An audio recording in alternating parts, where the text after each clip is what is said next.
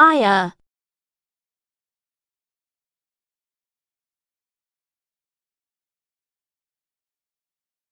Why is no one talking about this? Like what? Let's S. Roblox explain.